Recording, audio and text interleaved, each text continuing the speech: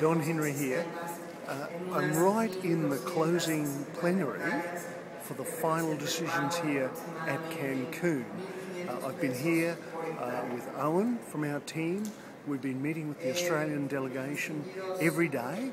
I've also met privately with the Minister, Greg Combet, and we've been urging Australia to play a strong role here in these international negotiations.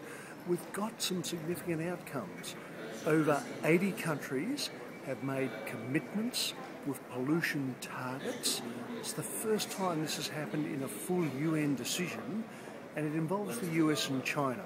And we think that will build momentum for greater cuts in greenhouse emissions over time.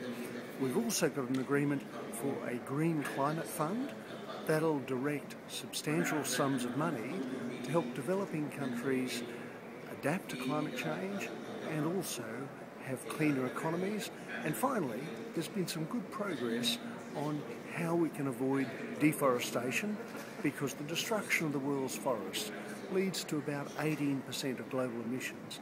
So we've been working hard, but this is good news to report to you. We've got significant progress here at Cancun. The next thing we now have to do is get more progress at home in Australia. First stop there should be a price on pollution next year so we get on with the job of cutting emissions, building a cleaner economy, and having a stronger voice internationally at these really important negotiations.